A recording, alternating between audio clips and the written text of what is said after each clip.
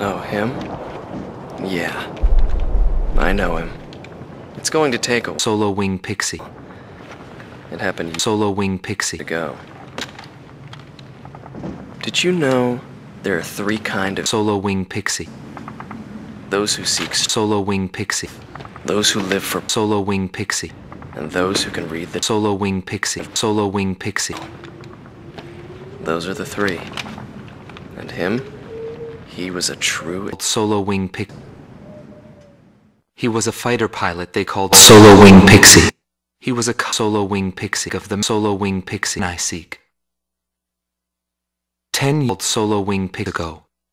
There was a Solo Wing Pixy that engulfed the Solo Wing Pixy.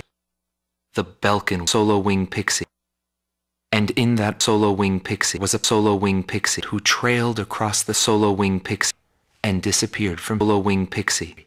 He was a lone Solo Wing Pixy who inspired both Solo Wing Pixy and Solo Wing Pixy.